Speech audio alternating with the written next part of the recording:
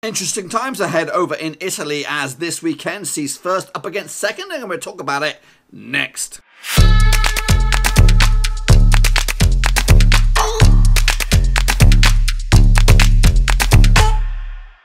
That's right, folks, back once again with another prediction video. This time looking forward to match day number 26 in 2018-2019 Serie A season. And we'll get to that in just one second. If you're new to the channel, smash your subscribe button to keep you bang up to date with all things Serie A related. And of course, Blackburn Rovers related. Woo, football related. We're going to all here under one roof. Now, let's, before we jump into match day number 26, we're going to take a look back at match day number 25. See how I got on. And I'll tell you right now, folks, pretty good. I'm telling you, I did pretty stinking good this weekend.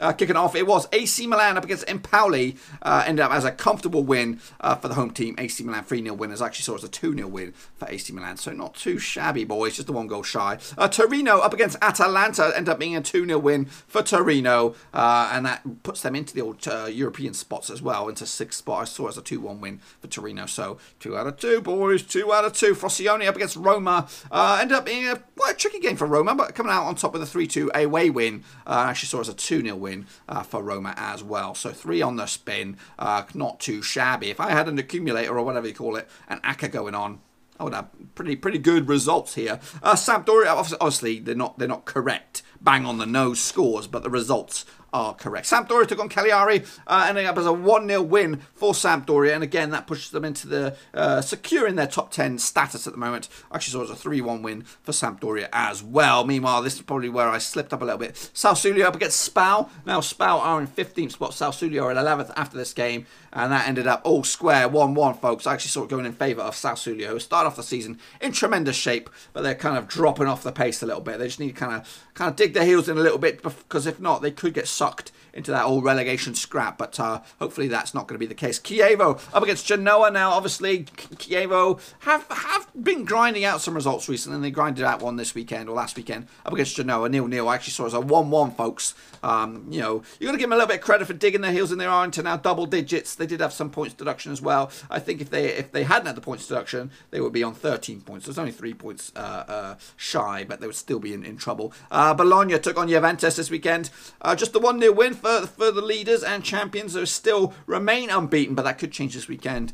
I actually saw it as a 4 1 win uh, for Juventus. So a little bit bold on my prediction, but ultimately I got the correct scoreline, boys, uh, or correct result. Uh, took on Napoli as well. Parma, uh, where are they these days? They are mid table after this loss against Napoli, who themselves went for a bit of a rough patch. Uh, with their with their recent results, uh, but they came out on top 4 0 winners. I got this one wrong, folks. I went against the grain on this. Uh, I went with a 2-2 draw, so not too bad. Or pretty pretty terrible on this one. I was, that's probably a banker. You probably should have went. I should have went with uh, with Napoli. And if, if so, it would have been just the one blip. Uh, uh, Fiorentina took on Inter Milan as well, and that ended up as a 3-3 draw, folks. I actually saw it as a 1-1 draw. Um, so not too bad indeed. Uh, and obviously the last game, Lazio against Udinese, has been postponed for whatever reason. Uh, I went with a 3-0 win, so that game has been reshuffled. Um, we're not going going to count that one. Uh, so only two incorrect scorelines, folks, or incorrect results. The rest pretty much bang on the nose. But anyway, we are talking about it in a minute.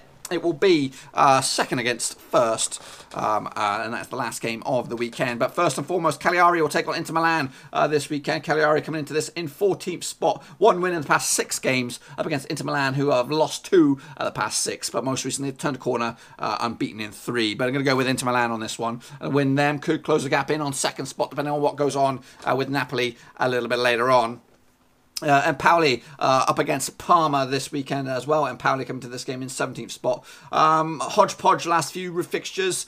Uh, they've lost three of the past six up against the Parma side, who are unbeaten. Or sorry, they've lost uh, four of the past six games and haven't, haven't actually uh, won one in five. Uh, so 2 0 win for Empoli on this one. Bit of a surprise, and that win could see them leapfrog uh, or a few teams up to 14th spot. Uh, AC Milan take on Sassuolo, obviously. Uh, AC Milan are in fourth spot, 45 points on the board, up against Sassuolo, who are in 11th spot. And Sassuolo have not won in five games, whereas AC Milan are unbeaten in at least six games, uh, winning their last three. So I'm going to go with AC Milan on this one, quite comfortable 3 0 win over Sassuolo. Lazio will take on Roma. It is the Roma derby. Uh, Lazio are in eighth, Roma are in fifth. Uh, Roma unbeaten in at least six games. Lazio, though, ugh, a bit of a yucky kind of form, really. Uh, they've won two of the past three, but before that, uh, in grand scheme of things, the past six games, they've lost three of them. Um, so I'm going to go with a 2 2 draw on this one. Obviously, derbies, especially with Lazio at home you've got to give him a little bit of an edge over Roma. To, I, I, know Roma will be the fancier of the two sides, but home form will sway a huge factor in this. Torino up against Chievo. Uh, Torino are in sixth spot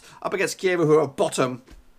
Uh, usually, I kind of I've been giving Chievo a benefit of the doubt um, recently, but they're going to lose this one though, three-one against uh, Torino, uh, who are unbeaten in five games, folks, uh, and their last loss uh, was a while back. Um, uh, uh, Udinese up against Bologna. Udinese come into this in 16th spot. Bologna come into this game in 18th spot. Relegation dog strap this one. Udinese winning the last game. Uh, Bologna, though, haven't won in a fair bit, three or four games. Uh, so I see this as a draw. Won't be happy for everyone. I think Bologna would rather have the win uh, to get themselves because a win could see them get out of the old drop zone, pushing Empoli in there. Genoa take on Frosinone. Now, Genoa come into this match in 13th spot. Um, unbeaten in the past five games up against a Frosinone side who are in 19th spot, who've won two out of the last six. Uh, but I'm going to go with Genoa on this one, and that win could see them uh, go into the into 11th spot, uh, depending on what goes on with Sassuolo. Spal take on Sampdoria. Now, Spal again, start of the season, tremendous form, but they are now looking over their shoulders uh, the old drop zone up against Sampdoria, who are in ninth.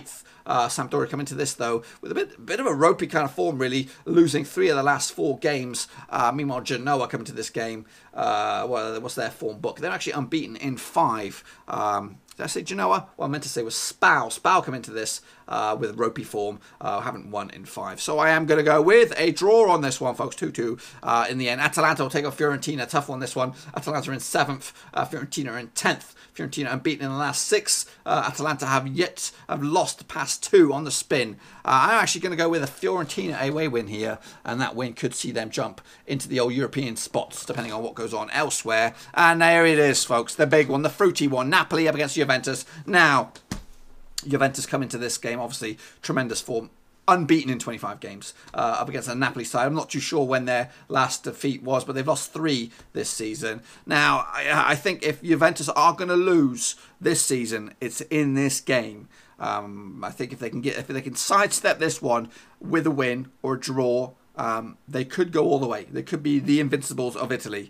Um, and I am actually going to go, being bold on this one, I'm actually going to go with a home win on this one. Uh, there'll be plenty of goals to talk about. Five goals in total. Three for Napoli, two for Juventus. And that will give Juventus their first defeat of the season and end their unbeaten streak. That's pretty much all I've got for you today, folks. If you've enjoyed this video, please give it a good old thumbs up. If you're new to the channel, smash your subscribe button. I keep you a bang up today with all things Serie A related, Blackburn Rovers related, woo, football related. We've got it all here under one roof. And make sure you drop your own predictions down in the comment section below to see what you think will happen this weekend uh, with the tasty games in match day number 26 in the 2018-2019 Serie A season. It is the big one. Over in Spain, they got El Clasico. Over uh, in Italy, they got, uh, I don't even know what they call this game, if it is anything you know, special. But it's basically first against second. It is do or die for Napoli. Basically, I think the title is over, but it could at, at least uh, stop uh, Juventus from doing an unbeaten season. Anyway, let me hear your thoughts and opinions down below. I'll see you again, same time, same place next weekend, I believe,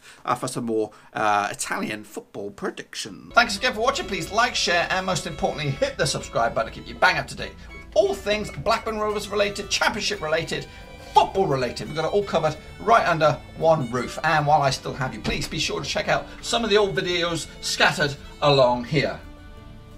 I hope.